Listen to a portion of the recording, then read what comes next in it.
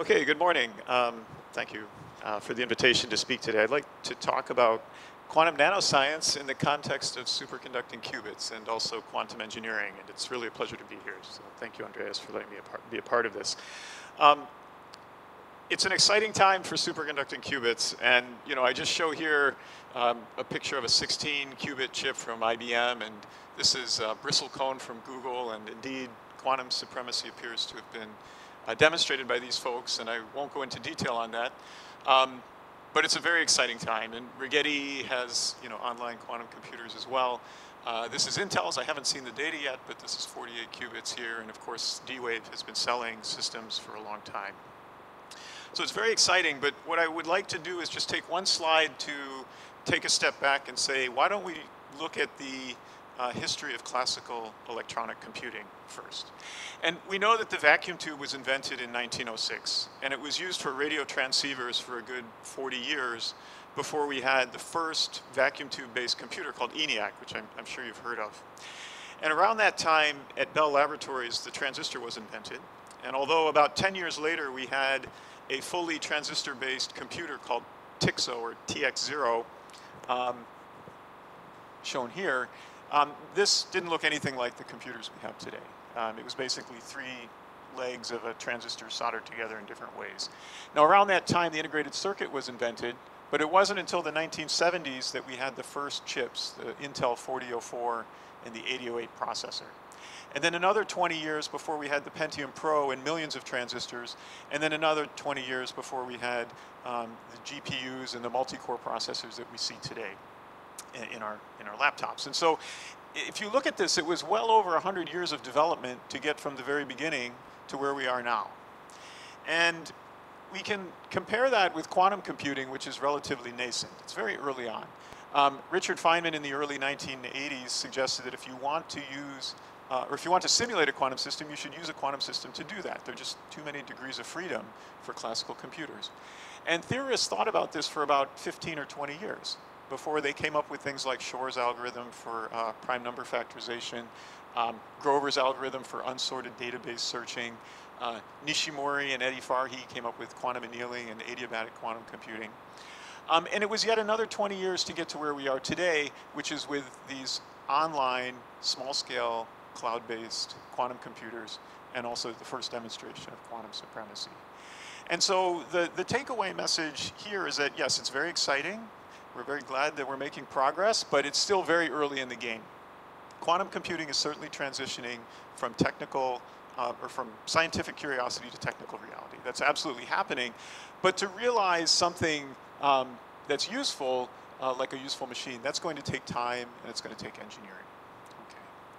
So what I'd like to talk to about today are superconducting qubits and just one slide to describe what they are. Um, a superconducting qubit can be thought of as a quantum harmonic oscillator with an inductor and a capacitor in parallel. Um, we make it out of superconducting materials, so it's very low loss. And when we cool it down to low temperatures, temperatures that are low enough such that the thermal energy KT is much less than this frequency separation here, um, we have quantized energy levels. Um, now, it's not such a useful quantum object for computing because the uh, frequency separation between 0 and 1 and between 1 and 2, et cetera, is the same. So we can't isolate the 0-1 transition without driving all the transitions in the ladder. So what we do is we replace this inductor with a nonlinear inductor called a Josephson junction. And a Josephson junction is basically two superconducting leads separated by a very thin nanometer scale uh, oxide barrier. And what that does is, is it changes this from a harmonic oscillator to an anharmonic oscillator. And so this potential profile is different. The energy levels are no longer equally spaced. Uh, this is a property called anharmonicity. And so we can uniquely drive the 0-1 transition without driving the 1-2 or the 2-3, et cetera. And the more anharmonicity, the better. So, so this is a superconducting qubit. It's in fact called a transmon, a fixed frequency transmon. And it's one of a whole family of superconducting qubits or artificial atoms, and this could be a Mendeleev table of them. But they can all be thought of in terms of this you know, generalized flux qubit that I'm showing here. And, and basically we have that same junction and it's in parallel with a capacitor, but we then open up a loop here where we can apply a magnetic field. And that magnetic field allows us to tune the energy level of the qubit during the measurement. And we may want to increase its inductance, so we put an array of junctions here. And, and all of the family of superconducting qubits can be rewritten in this way. Now basically, the design parameters that we have are things like the critical current of that junction, the capacitances in the circuit, uh, the number of extra junctions we add, um, and the area ratio between the small junction and the larger ones. And based on these design um, parameters, we can design the atom to have a particular qubit frequency, we can define its anharmonicity, and we can trade off its sensitivity to different types of noises. So this is basically the engineering aspect of superconducting qubits. Now, we fabricate these um, using silicon uh, processing tools. This is a silicon-based technology because we grow it on silicon, we grow materials on silicon wafers. We fabricate them using the same um, tools that we use on our CMOS line, as a matter of fact. So these are manufactured, um, lithographically scalable uh, devices.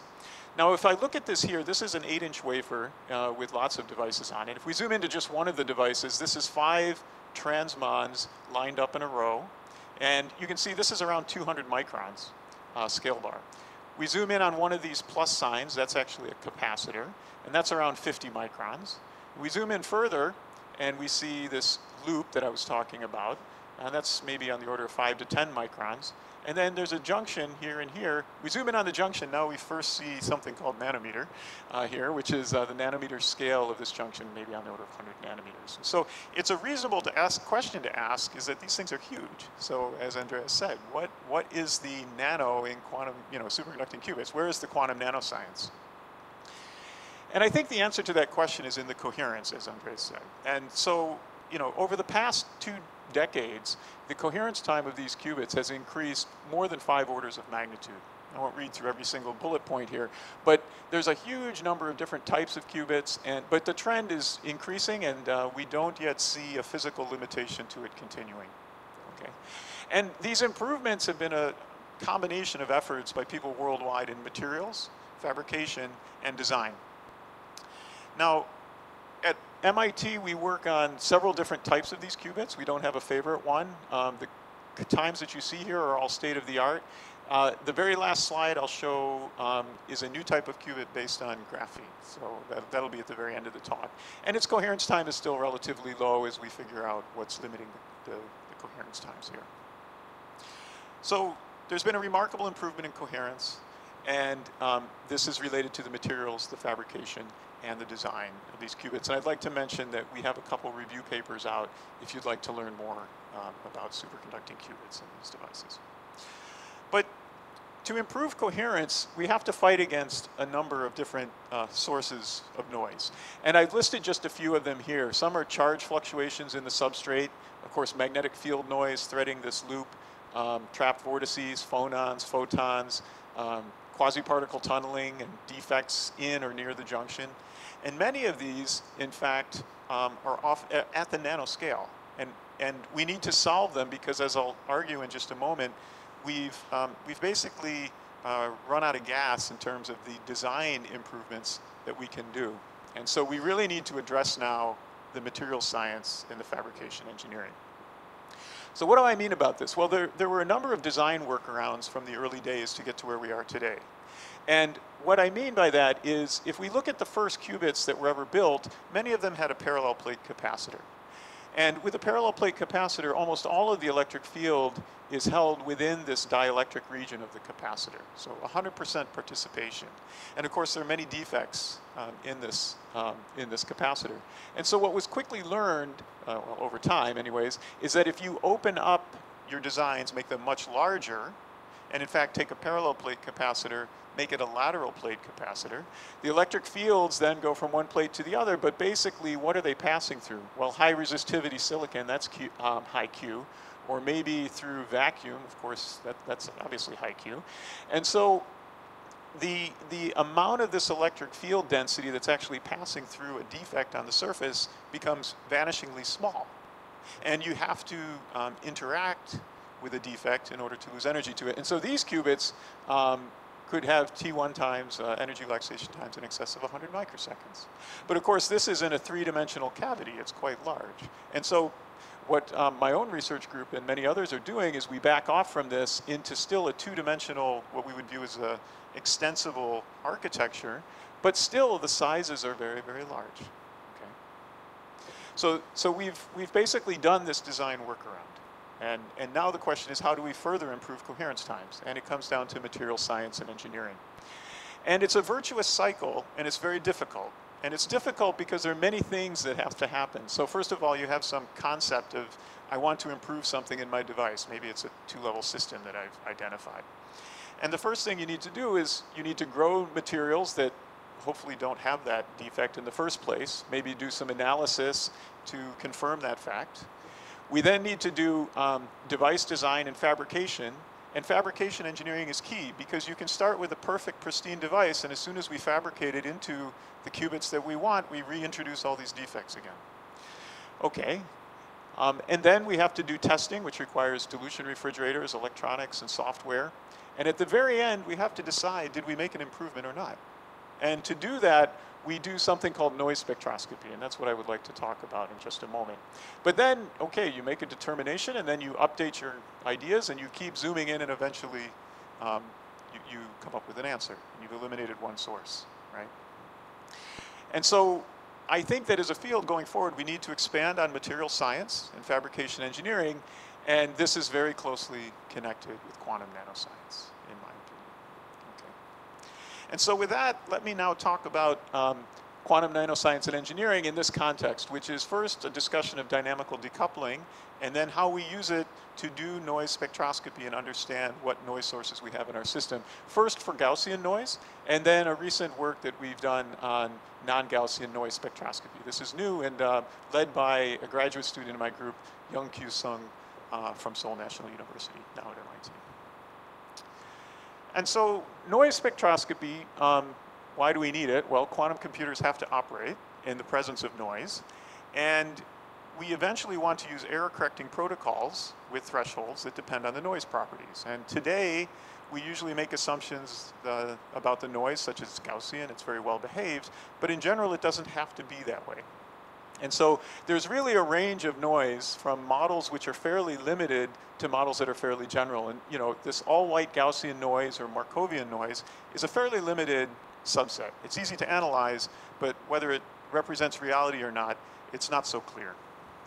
Now, there's non-Markovian noise, and in fact, we have it. There's colored Gaussian noise. We have 1 over f noise in our qubits. We know that for a fact right? And so we're getting away from this Markovian noise limit, and of course, um, the most general type is non-Gaussian noise, statistics in principle to all orders. And so the question is, how do we characterize noise in our systems so that we can then go back and fix it?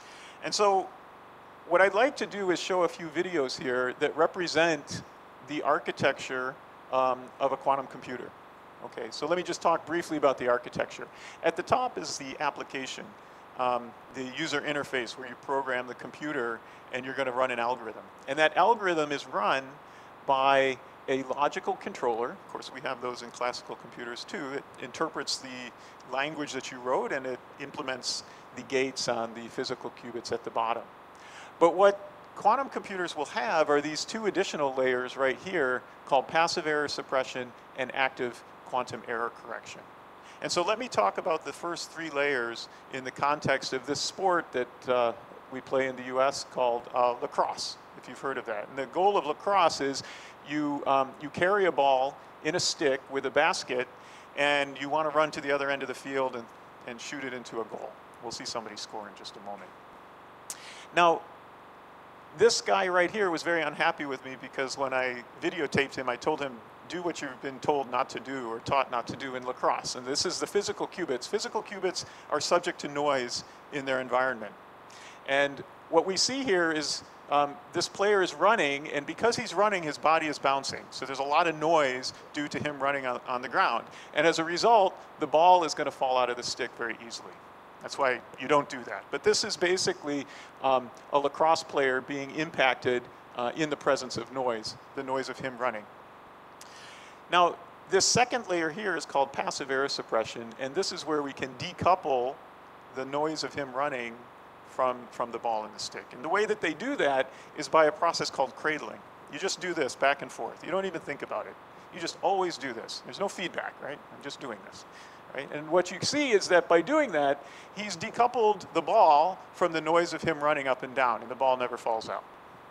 Okay? And we'll show in just a moment how we can implement pi pulses on the qubit to achieve the same dynamical decoupling of the noise. And in a moment, uh, yes, this is the goal, and he just scored. Okay, so good. Now, even though we may have this passive error suppression, there are still enemies or defenders um, or defense that come up behind you occasionally and they're going to knock the ball out. You can't help it. And when that happens, you have to do something active. You first have to recognize, oh, I dropped the ball. You then have to identify where it went, and then you actively have to go and pick it back up again okay? That's called active error correction in quantum computers. Um, it's contemporary research right now to demonstrate this, and it's very expensive. It takes a lot of effort. And so for that reason, it behooves us to do everything we can at the passive level to get rid of as many errors as possible so that we only have a minimal number left that we then have to actively error correct. Okay, so I hope this gives an in indication of how um, passive and active error correction works. Okay, so let's now talk about superconducting qubits and, and, what we do. So this was a qubit from, I guess, about eight years ago. At the time, it was a, um, the longest coherence time that had been recorded in superconducting qubits. Um, these are called Rabi oscillations, and you can see that these oscillations decay in time due to decoherence. Okay, what type of decoherence? Well, there are a couple different kinds. Uh, the first one we'll call the relaxation rate, gamma 1, which is the inverse of T1, the relaxation time. Now this is the Bloch sphere, and you can think of it as the planet Earth, where the North Pole is state zero and the South Pole is state one. Let's say state one is the excited state. Um, and T1 is the time over which the excited state is going to relax back to the ground state. So South Pole relaxes to the North Pole. That's T1. There's another time scale called the decoherence time, uh, T2, 1 over T2 here is the decoherence rate. And that's basically a statement about how the Bloch vector or the qubit state behaves when it's on the equator. Now there are two things that, two ways that things can go wrong on the equator. One is the Bloch vector could just relax from the equ equator back to the ground state. That's a T1 effect. Okay, we've already thought about that. But there's something else that can go wrong, and that is the direction that I'm pointed on the equator over time due to noise can change, right? And eventually it blurs out and I don't know which direction I'm pointed anymore. And that's called dephasing, if you think of this as an angle on the, on the equator. And that also has a time T phi. So the decoherence time T2 is related to both T1 relaxation and dephasing. Now in this particular qubit, we measured these two and we saw that the T1 was quite long, 12 microseconds, but the T2 was only two and a half microseconds. So that's relatively short. The question is what's going on? Well, if T1 is long and T2 is short, it must be T phi is short. So dephasing was short. So how did we correct for this? Well, let's first see what, we, what happens when we don't do anything. So this is the Bloch sphere again, and this you can see is the qubit vector. And I've simulated here about 15 or 20 different instances under the impact of this 1 over f type flux noise. Okay, right there. And what we see, or what we saw, do it again,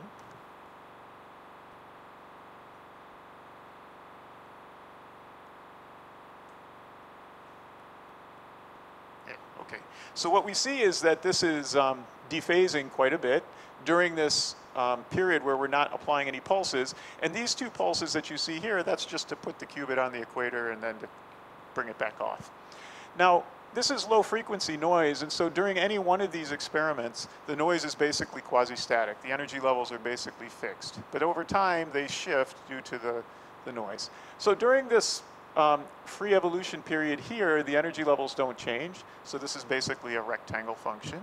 And the Fourier transform of a rectangle function is a sinc function, which is shown here, centered at zero frequency. And this filtering effect, due to doing nothing, in fact passes almost all the noise um, that we have from 1 over f noise. It's all low frequency noise and the filter lets it right through. So this is the worst strategy. And that's why we had a lot of dephasing. But what you can do is you can apply a pi pulse right in the middle um, of this evolution, which basically flips everything around. And now the uh, vectors that were going faster will catch back up, and those that were going slow will retard back down, and eventually refocus themselves just with that one pi pulse. So you can think of it as the lacrosse stick going this way. Now, if you analyze this, you have a rectangle function here and here, but there's a plus sign and a minus sign. And that Fourier transform gives you this green function here, which now is centered at higher frequency, and it actually has a zero at zero frequency.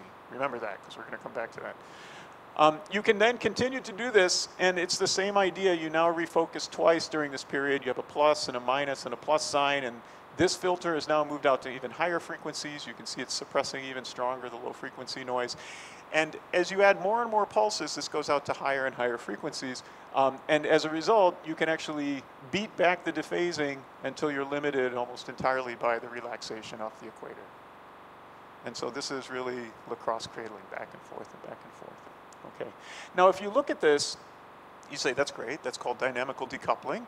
But you can also look at this and say, maybe I can use this as a a sampling filter if I can make it narrow enough. And so that is called noise spectroscopy, where you, you, you arrange the pulses in such a way that you can take this narrow filter, this window, and you shift it around in frequency and sample the noise at different frequencies so that you can reconstruct this noise power spectral density.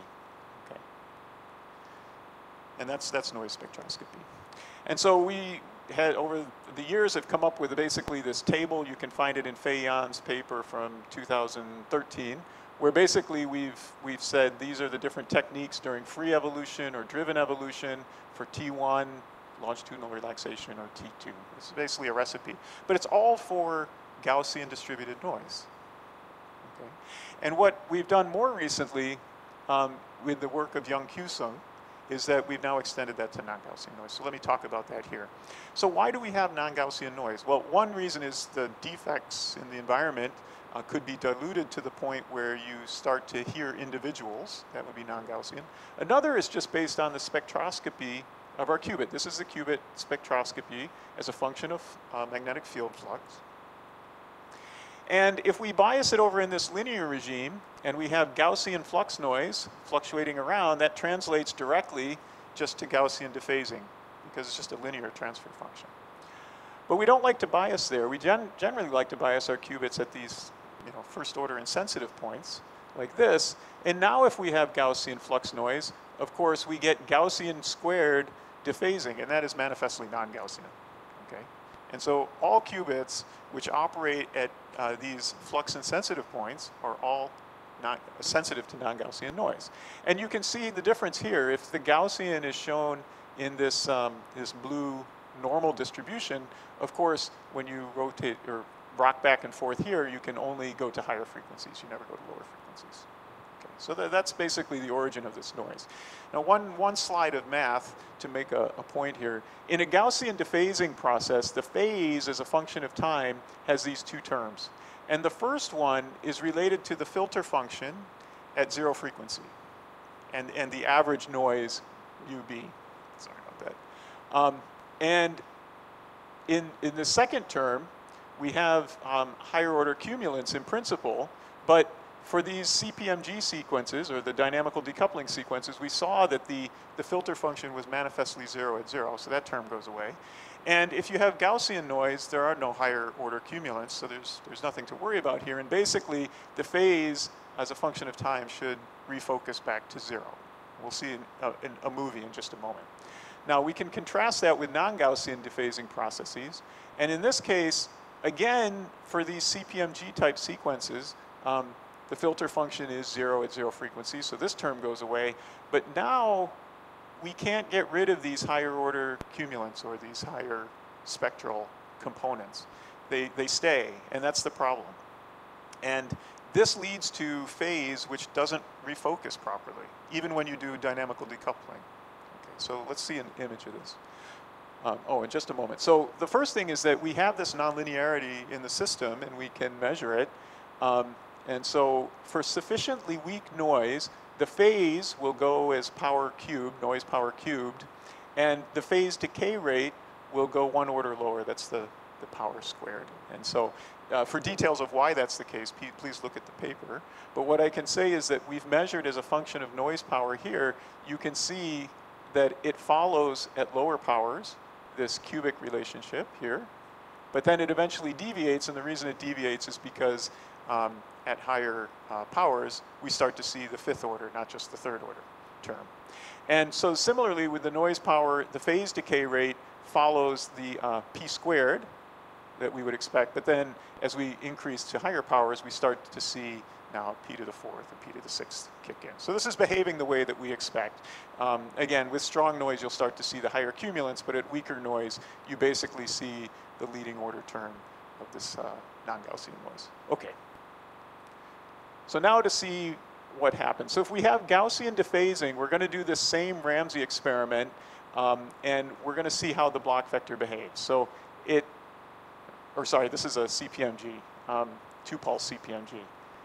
So we refocus it a little bit, but basically this vector is always pointed along the y-axis because the phase doesn't change for Gaussian noise after refocusing. It depolarizes, but it doesn't change the direction. What I found very interesting is for non-Gaussian noise, that's not the case. And so here, to make it easier to see, we're going to detune the pulses so that we can see how it evolves. So the, the Bloch vector evolves, and then we refocus, and you would think it comes back to zero. We're going to refocus again, and it should stop, but it doesn't. It keeps going. And that's, that's manifestly due to non-Gaussian noise effect, right? You, you can do these dynamical decoupling pulses, but it's not going to um, get rid of the non-Gaussian noise, and that's why it's important. So um, for more information on this, uh, let me refer you to the paper again. So just like we had filter functions in one dimension and we could reconstruct a noise power spectral density in one dimension, we can create um, pulse sequences which give us a two-dimensional uh, frequency filter or function and use that to reconstruct this what's called the bispectrum in yeah, the bispectrum uh, in the frequency domain. And so we came up with a bunch of pulse sequences uh, with the help of our colleagues at Dartmouth, Lorenza Viola and her group, and use that to basically reconstruct this, this function here. So we applied a known engineered source of noise to the qubit, and then we showed that the technique developed here can actually recover that noise, this bispectrum. And I think this is um, one of the first times, if not the first time, that this non-Gaussian noise has been measured directly. I should say that this spectrum has been recovered directly in a solid state circuit. So as my last slide, um, I just want to highlight another aspect of um, using nanoscience uh, to do a quantum thing, which is a qubit.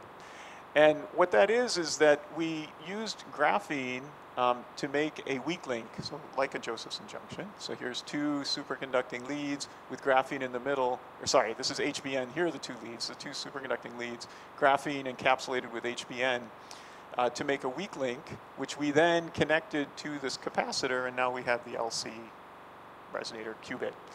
And um, we showed that we can actually get coherence here. And so this is a T2 star Ramsey experiment of about 50, 50 nanoseconds.